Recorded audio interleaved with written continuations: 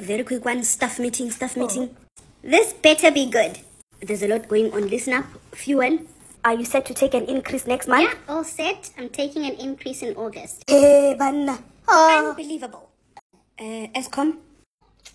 Ah, father, you know almost that really to do blah blah blah blah. Stage six. That's the conclusion. Stage six.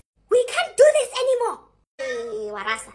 No electricity, no water for one week. May I please chime in? I did send out a notice well in advance that we will not have sufficient water due to maintenance. Why are you maintaining for the whole week? Why don't you do one day there, one day there, so we can survive? I'm doing the best that I can. I sent out trucks. Our 60-year-old grannies cannot even pick up buckets.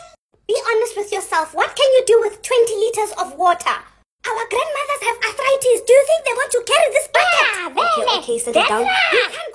We because there's no electricity. Yeah, we can't bath because there's no water. Now you want to take away the cigarettes. The cigarettes are being banned. Cigarette? Ah, you want to ban cigarettes?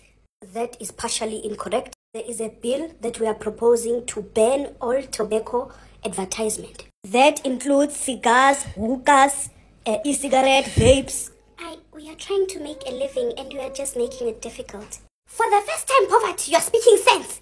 This bill is still open for public comment. Use common sense. The public says no. But we need to follow the right procedures. Poverty is starting. What? Keep quiet, poverty. I knew you were going to talk rubbish. And what's this we hear? That criminals who are over 60 must go on parole. The country is going to the pits. Uh, I'm not sure about that. Uh, uh, uh, SAPS. Attention.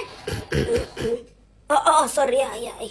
Yeah, I mean, this, this is not confirmed. That was just hearsay. For your sake, I hope it's hearsay because we do not want another July unrest mm. because we are sending someone to mm-hmm. prison again. Oh, not another July unrest. We are still recovering from the last unrest. We cannot afford a new one. KZN must just get their act together.